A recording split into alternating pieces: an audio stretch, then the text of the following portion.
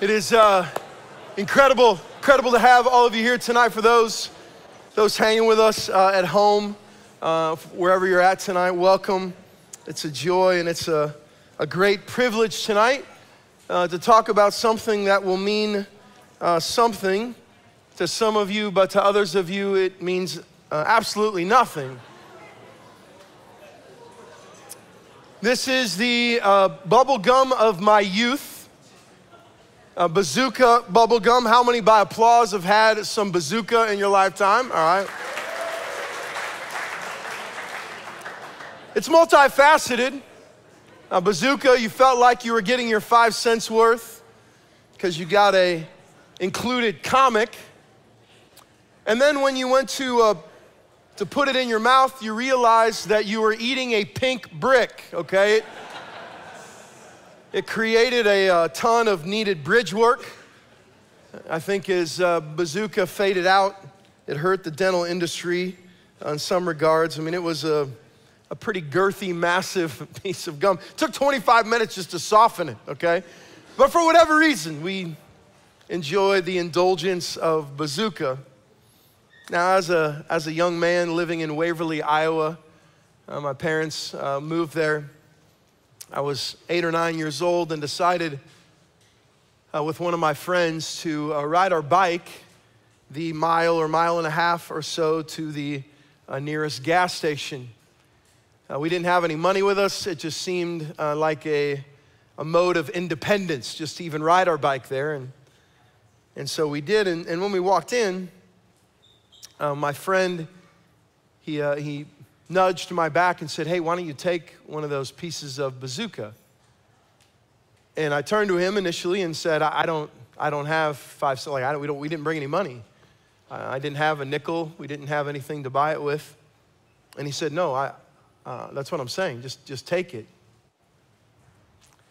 I know I had done a lot of sinning before that day. My mom, dad will attest to that, uh, certainly. But this is the first moment that I can remember um, not just acting on temptation, but feeling all the effects. So I, I reached down in the little bazooka box and slyly I slid it into my pocket like a, you know, like someone that was a, a professional heister. Is that a word? Someone that was good at stealing. And the moment I walked out of the store, I, I felt this overwhelming sense of um, darkness, conviction. It was the longest 10, 15 minute bike ride uh, maybe I've ever had in my life. I mean, my, my stomach was churning with what I had done. I, I walked in uh, to the house. My mom, I can't remember the question she asked me. Uh, hey, how, how was the trip? Mom, I stole a piece of gum. I mean, I just, I had to tell somebody. I, I just, I had to confess it. And so thankfully, I had a mother uh, who, who took me back to the gas station and I feebly walked up to the, the cashier and laid a nickel on the counter and said, I'm, I'm sorry, I, I stole um, one of these pieces of bazooka. I have, I have sinned many days uh, from that day, including uh, these current hours recently. But since that day, I've been processing an important question. Why, why in the world, knowing the Lord at the time which I did, knowing that a stealing is against God's design, why, why would I sign a treaty? Why would I make peace with evil? Why would I give in uh, to peer pressure or the temptation of my friend? Why do I compromise?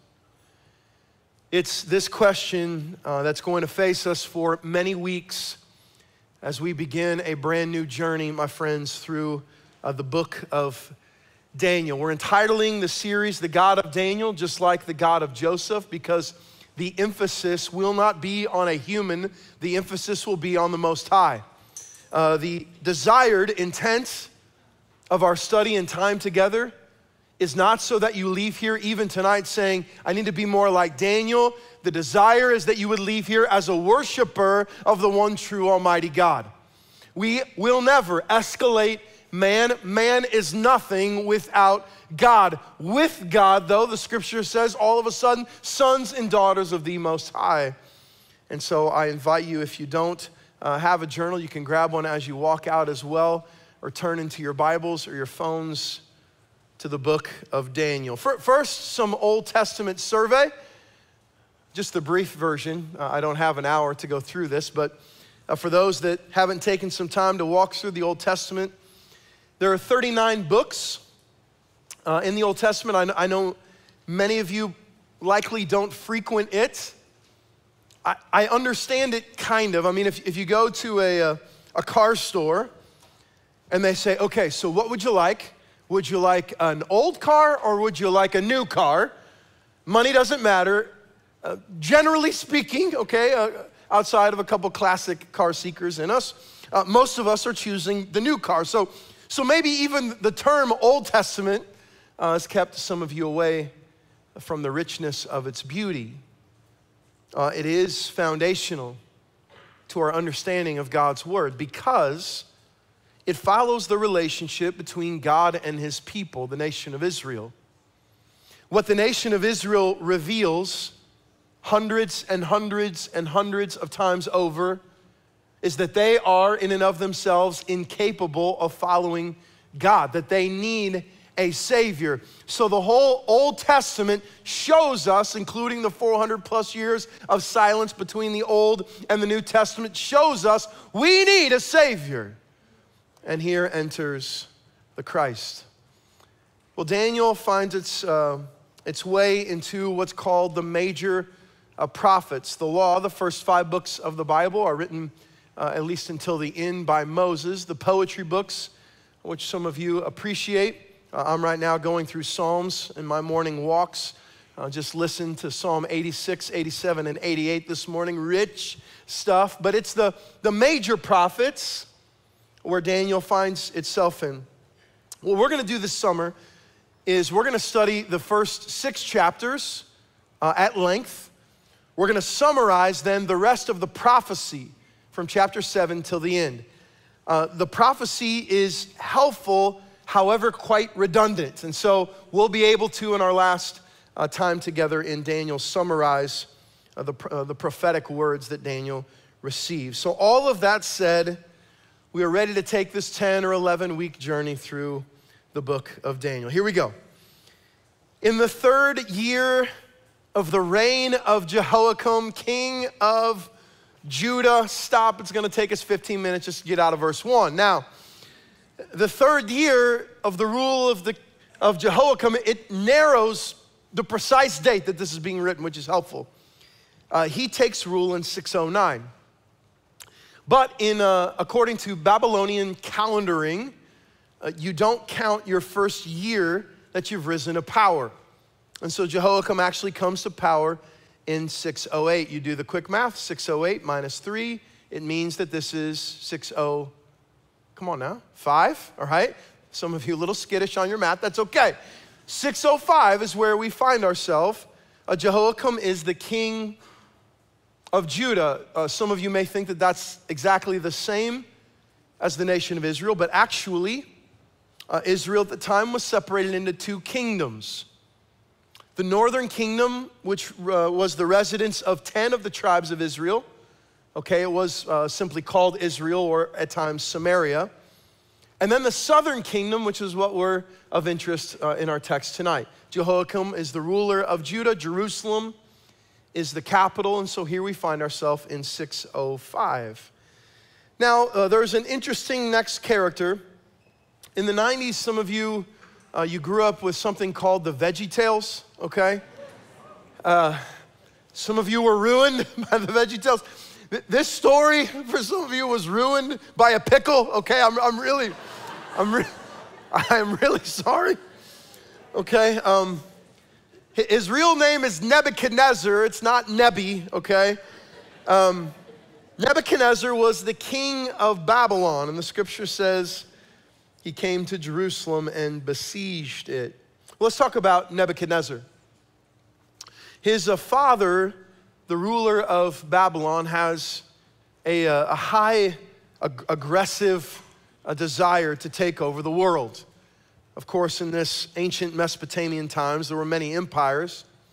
And so Nebuchadnezzar's father begins one by one to go against the other competitors. Eventually, though, Nebuchadnezzar's father gets ill. And in his illness, not losing his desire, he hands the baton to his son, uh, Nebuchadnezzar II. Now, what's interesting is, is Nebuchadnezzar all of a sudden finds himself ruling, not yet king, but ruling over the armies, the great armies of Babylon. There were two major competitors at the time. The first was the Assyrian Empire. I don't have time to go through the whole history of Assyria, except to say that Assyria for, uh, formed a bit of an allegiance with Egypt to overthrow Babylon.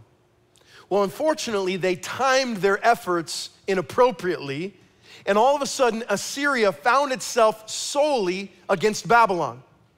And so Nebuchadnezzar wipes out almost nearly completely the Assyrian Empire, which had massive prominence at the time.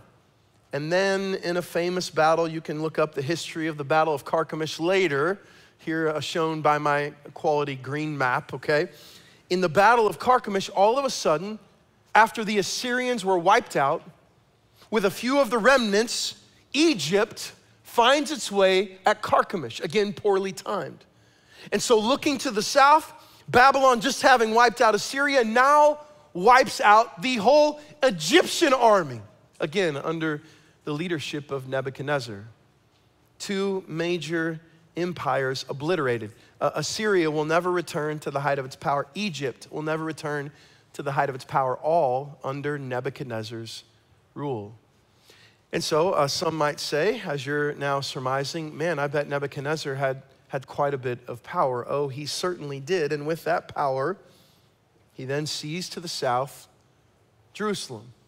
And so he, he besieged it. And under his power is this the Babylonian Empire. In fact, it even expands a bit more than uh, this salmon colored region. Uh, he is, for all intents and purposes, the leader of the known world.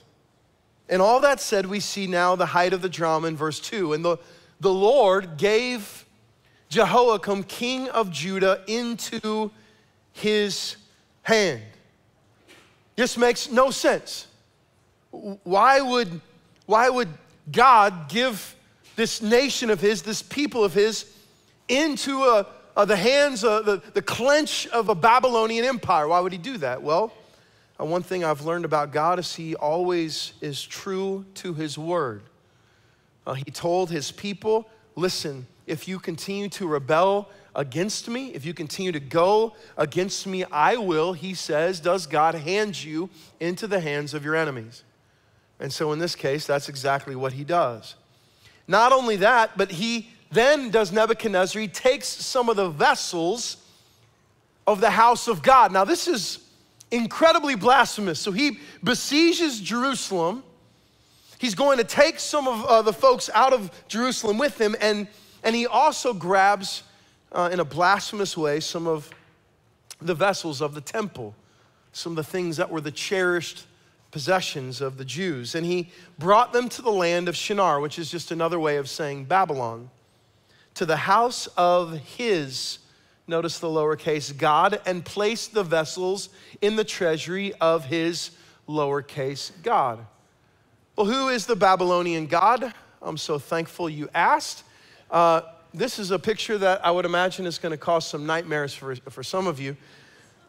Uh, this is in uh, Babylonian mythology the uh, great battle between Tiamat, uh, the queen of the sea, the dragon queen of the sea on the left, and she certainly is a dragon queen, okay?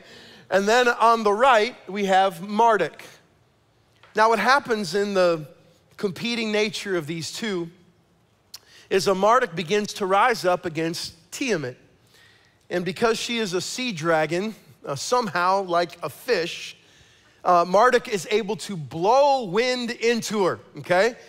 And as he blows wind into her, she begins to puff up like a balloon. This is true. You can look it up. True in the, in the mythology standpoint, okay? She, she begins to blow, she begins to blow up like a balloon. Marduk then takes an arrow, okay? And he slings it at Tiamat, uh, sending Tiamat into two pieces. And so, what Marduk does is he takes her top half and he makes the heavens, and he takes her lower half and makes the earth. And herein lies the Babylonian creation story. I'm so glad we have Genesis 1, 2, and 3. Anybody else? You know what I'm saying? In the beginning, God created the heavens and the earth. Thank you. I mean, who's hearing this saying, oh, yeah, that's a great, yeah, that, that happened. To blow up like a fish. Come on now, right?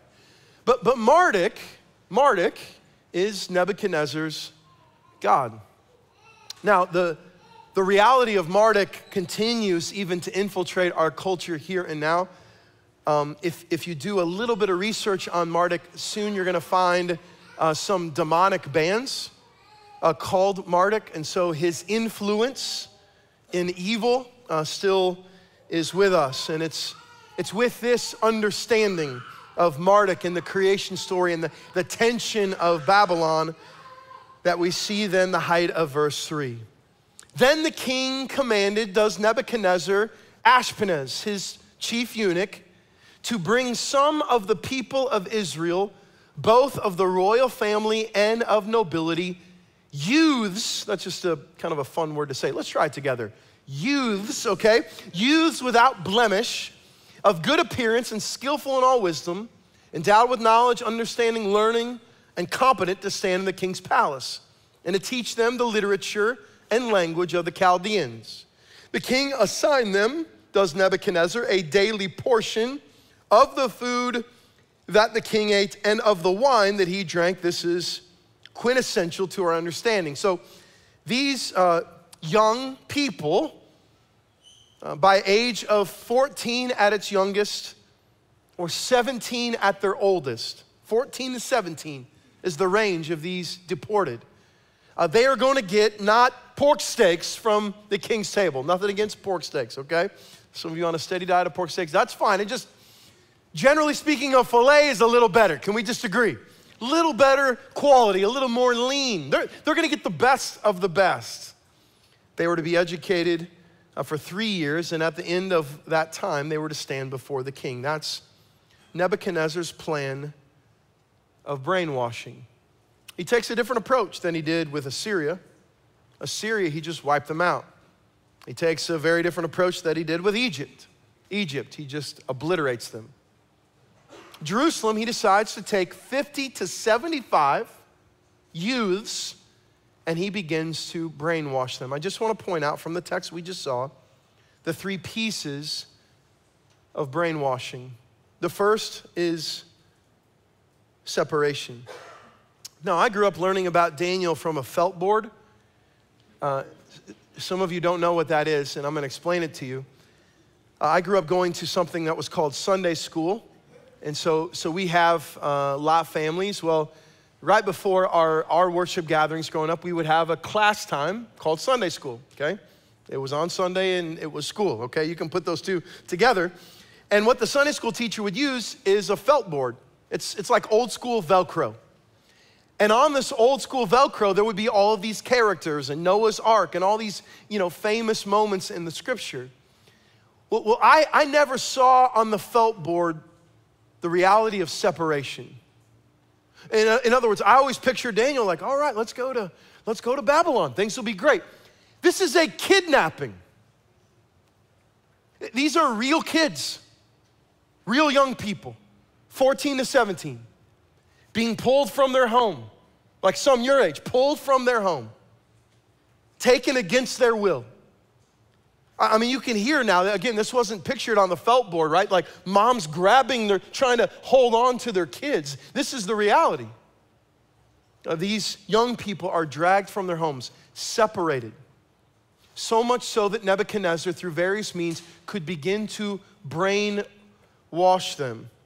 His second mode of operation was to re educate. We saw that, that, that they would grow in the wisdom of the Chaldeans. Now, the, the Chaldeans, uh, their wisdom was uh, synonymous with magic, sorcery, and somehow glassmaking. Okay, those are, those are the three main issues of wisdom and knowledge for the Chaldeans uh, magic, sorcery, and glassmaking. So, so these 50 to 75 are going to be exposed to a tremendously demonic things, things that were dominating the Babylonian empire. They were going to be re educated, and not just that, but they were going to grow in obligation to Nebuchadnezzar. Uh, how was he going to do this? He was going to feed them. Why? why? Why feed them? Why give them the best of the best? Why give them the fillets? Uh, why not settle for the, the fatty hamburgers? It, it's because this deportation is going to go in three phases. The first is going to be the 50 or the 75 that we're seeing here. The second, he's going to grab 10,000 Jews. And the final, in 586 BC, he's going to obliterate the temple and then he's going to begin to massively deport the Jews. He wants these 50 to 75 beautiful, knowledgeable, strong young people to say, yeah, actually, this, this Babylon, it's not, it's, not, it's not too bad. Not too bad. Like the king, he feeds us well. The weather's, uh, it's, it's warm, okay? It's, it leans deserty, but you know what? It's like this is, this is a good place to be. He, he's wanting to obligate them to himself. Uh, so much so that we see a massive shift happen next. Now, among these, here's our four characters that we're going to be watching for several weeks to come. Among these were Daniel, Hananiah, Mishael, and Azariah of the tribe of Judah. I told you previously, there are 12 tribes in Israel. 10 of the tribes reside in the northern kingdom primarily, only two reside in the southern Benjamin and Judah. And so these four, we're not familiar, at least at this point, of their relationship to each other, but they're from the tribe of Judah. Now, what happens in these names is the chief of the eunuchs gave them uh, these names Daniel, he called Belteshazzar. Hananiah, he called Shadrach. Mishael, he called Meshach and Azariah he called Abednego, or as VeggieTales calls them, Rack, Shack and Benny, okay? Again, ruined us. Now, we, we, we name people very different than ancient Mesopotamian times. When we were having our, our final child, and Heidi and I were talking, discerning through, all right, well, like, what are we gonna, what are we gonna name this, you know, this child of ours? I had one stipulation. I was like, all I want is there has to be an X in it. Like, there just has to be an X. And, and so, you know, Avery, beautiful name. Dawson, strong name. This last one, I just want an X in it. Ergo Maddox. Okay, there was no, there was no like arithmetic to it. Just in case you're wondering, Maddox is not biblical. Okay. In fact, he happens to be a pitcher of the Chicago Cubs. Okay, anyway, like it's not, not some inspiring story. We, we choose names differently. Uh, uh some of you, you know, when, when, you're choosing the names of your child or your name, you know, your parents are just flipping through the, oh man, that, that one, right? Yeah, that's, that's good. Some celebrity kid's name, right? We choose names very differently. But in ancient Mesopotamian times, names have a ton of meaning. First, on the left side, I want you to notice the end, the suffix of each of their original Hebrew names El and Aya. Uh, El is um, the piece of the name of God Elohim. And so each of uh, Daniel and Mishael, they're, they're named after or in part of Elohim, the Hebrew God. Uh, the ayah uh, goes with the, the Hebrew understanding of Yah or Yahweh or God. And so every name in Hebrew, in this case, is very, very adjoined to the Hebrew God. On the other side, though, we have quite a bit of change. Uh, you're not going to have time to write all these things down. Let's just go through them. So, first, Daniel's name means God is my judge. Elohim is my judge. His name, and he kind of gets the short in here. I mean, Belteshazzar, I mean, that's just going to be forever hard to say. Uh, Bel is the name for Marduk. And so Marduk, protect the king. That's what his name is changed to. Uh, Hananiah, Yahweh is gracious. Uh, Shadrach, now the, the command of Aku. Aku is the, the moon god in Babylon, quite, quite a downgrade, okay, for Shadrach. A Mishael who is like the Lord, a similar Meshach who is like the Aku, again, who's like the moon god. And finally, in this pagan thought, Azariah, Yahweh is a helper to the servant of Nego. Nego was the god of vegetation in Babylon. So the whole desire of Nebuchadnezzar, of Ashpenaz, is to confuse.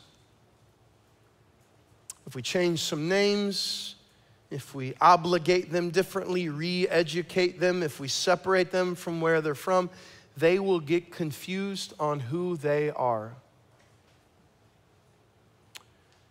The problem in lies for Nebuchadnezzar is there are some, including in this room, who know precisely who they are. And that's certainly the case for Daniel, verse 8. But Daniel resolved, I love the word. He doesn't flip a coin. He's not given an option and he goes away and prays about it for three weeks. He resolved that he would not defile himself with the king's food or with the wine that he drank. Therefore, politely it seems, he asked the chief of the eunuchs to allow him not to defile himself. Now, why would the king's food defile him? First, okay, the king is going to be providing a lot of food that is not, in a Jewish uh, context, kosher. It's going to be unclean. So that's the first way. The second way the food would be uh, defilable or an abomination, Daniel would even uh, perceive, is because this food had been offered to pagan idols.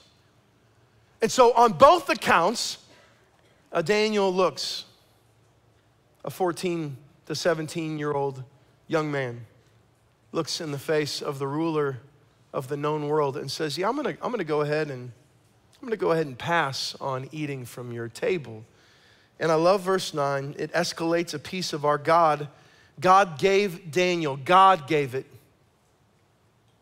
Not Daniel's obedience. God gave Daniel favor and compassion in the sight of the chief of the eunuchs. Let me celebrate something with you, friends. God blesses obedience, He blesses it. Worst case, worst case, our joy in Christ. I mean, He gives us and provides through the Holy Spirit joy. So many of us, when we have seasons, we would say, of rebellion against God, will say things like, Man, I just feel so shameful. I just feel so guilty. We use terms that the gospel isn't using about us because we're being shrouded with the lack of joy because of our disobedience. When we walk in obedience, based on the Holy Spirit, empowered by God Himself, it's amazing the joy that comes. I'm not saying that we're going to all the time get favor from the nation or that God's going to all of a sudden lay this kingdom down before us. That's not what I'm saying.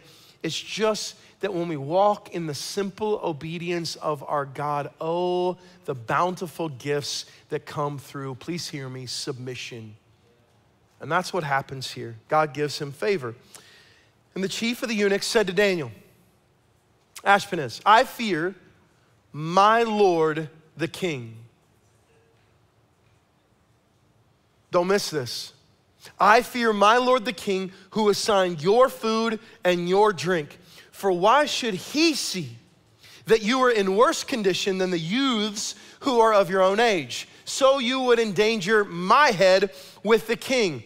We have here the tale of two fears. We have Ashpenaz who fears Nebuchadnezzar, and we have Daniel who fears uppercase God. It's the tale of two fears. L- listen, um, my head is, this is not going to go well with Nebuchadnezzar, but remember, God had given favor.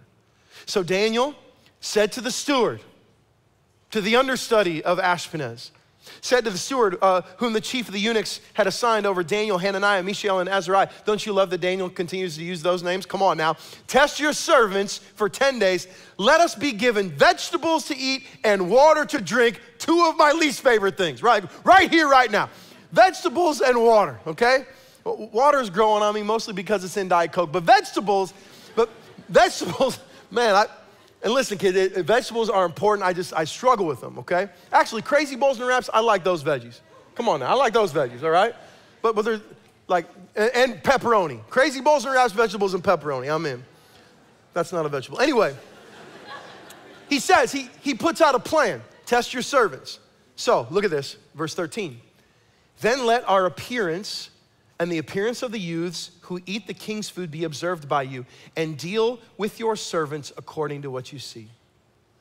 We're gonna eat vegetables, we're gonna drink water, they're gonna eat the king's food, the filet, the mashed potatoes, all right? They're, they're gonna go hard. We're just eating veggies. And we see in verse 14, he listened to them, and in this matter, he tested them for 10 days. Surely, Ashpenaz is thinking in his mind, no possible way these guys are going to look like they've been fasting for 10 days. Their appearance is going to be weak and feeble, but at the end of 10 days, it was seen that they were better in appearance and fatter in flesh than all the youths who ate the king's food. Now, uh, we need to address the Hebrew language here fatter in the flesh. This isn't that they put on, okay, the freshman 15 here. This, this isn't that, okay? It's just that in the Hebrew language, they looked better, they looked healthy. So, so you've got the, the 50 and 75, all the folks over here, and then you've got these four. Their appearance, uh, their skin glowing, their health gleaming. And so, imagine being all the rest. So the steward took away their food and the wine that they were to drink. Everybody else, we're on veggies and water. Here we go, right? Everybody's getting veggies. Who would have thought this would have been the case? And as for these four youths, God, again, noticed the Lord. God gave them learning and skill in all literature and wisdom. And specifically, Daniel had understanding in all visions and dreams, which is going to come to play for the rest of our story. Now, at the end of the time, when the king had commanded that they should be brought in, three years, the chief of the eunuchs, Ashpenaz, brought them in before Nebuchadnezzar. Uh, Saddam Hussein, who some of you uh, are familiar with, when he was building his empire, his kingdom, on every brick of his palace, he engraved the name Nebuchadnezzar. Saddam Hussein thought that he was, in some words, the reincarnated Nebuchadnezzar. We see other dictators in our history using Nebuchadnezzar as an example. Uh, he's a, an evil man with pagan intentions. And now all of a sudden, you're going to have teenagers standing before him. Uh, do you remember when Paul tells Timothy, his young disciple, do not let anyone look down on you because you are young, but set an example for the believers in speech, in life, in love, in faith, and impurity. Understand this, my friends. Young people looking at the ruler of the known world eye to eye. And the king spoke with them. And among all of them was a none was found like Daniel, Hananiah, Mishael, and Azariah. Therefore they stood before the king. Stood out, we could say, before the king, and in every matter of wisdom every matter of understanding about which the king inquired of them, he begins to poke and prod, ask questions. He's putting them up against his magicians. He found them, come on, 10 times, 10 times better than all the magicians and the enchanters that were in all of his kingdom. Don't you love seeing moments where light far outweighs the darkness? I mean, not even close. You got all of this demonic pagan activity, and here comes the four brothers of light, 10 times stronger. And the scripture notes at the end of chapter one that Daniel was there until the first year of King Cyrus. Again, the felt board doesn't depict this. We often imagine Daniel in the lion's den as a 16 year old boy. Uh, the lion's den is towards the end of this story. And because we know he's there till the first year of King Cyrus, this is how long he's there 14 to 17 when he arrives, old and seasoned when he leaves. When he gets dropped in the den, okay, potentially breaks a hip. I mean, this is an old, this is an old man. An old man. But as I look at chapter one, as I consider again my reality, I ask, Why do we compromise? There is a, a tension that's been created within me as I've read the story for the however many time. How does a teenager, young in his perspective, young in his learning, young in his wisdom, how does he take a stand in the face of one of the most powerful men in the world? And I make compromises. I sign treaties of peace with evil when there is far less at stake and not a world power in front of me. As I've worked through this, as scripture calls, there's been a godly grief that's overwhelmed me as I've considered my sin. I'm grieving my sin. I'm grieving over the moments where I've shaken hands with the enemy, when he's become my ally. Maybe for just a moment, but an ally nonetheless. His strategy, the enemy, Satan's, oh, friends, Nebuchadnezzar's strategy had to come from somewhere. Nebuchadnezzar didn't learn these things on his own. Uh, since the Garden of Eden, these strategies have been deployed by what Scripture calls the ruler of the power of the kingdom of the air. He has temporary, temporary power. Satan longs for us to be separated from truth. Please hear me. Satan longs for you to be separated from community from loving rebuke. And most of all, he preys on our nearness to God. He hurls arrows, does Satan, at what the gospel has accomplished. Think about it. The gospel has accomplished restoration of relationship between us and God that was broken because of sin. And Satan, in our life as believers, is constantly attacking that intimacy. He wants separation. Let's get those believers as far away from the Lord as we can. The enemy is luring, tempting us with unending noise through culture, the barrage of social media, and even slyly through the legalism or loose liberty within the church. The enemy is seeking to devour truth with deadly education, even within the body of Christ. Legalism and loose liberty, both heresy. Amen?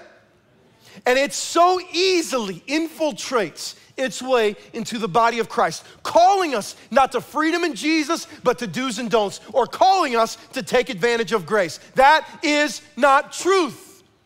And yet the enemy tempts us with it as he did to our King Jesus in Matthew chapter 4, a Satan with a hand out, awaiting our embrace, or with a pen hovering over a peace treaty. He invites us to bend the knee. If we would just bow down, he says, he will give us the world. He will give us all, all that we can ever want. And any of this compliance, please hear me, any of this compromise, it rattles our identity in Christ. Though positionally still a son or daughter of the Most High, our belief in its reality grows more and more faint in the darkness of our compromise, of our sin. So, why do we compromise? a misplaced fear. We fear man over a king.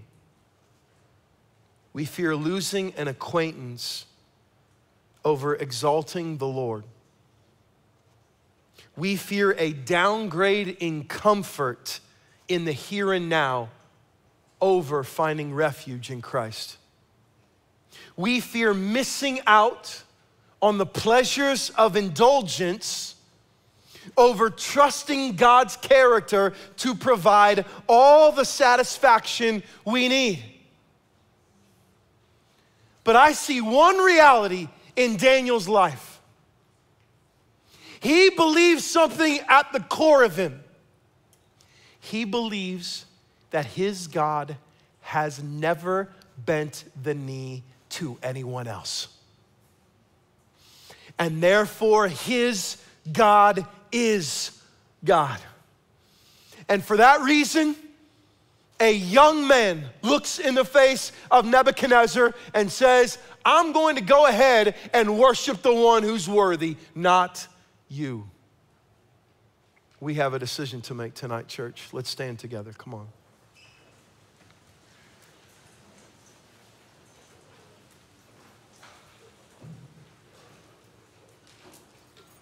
I want to simplify all of this in one statement for us.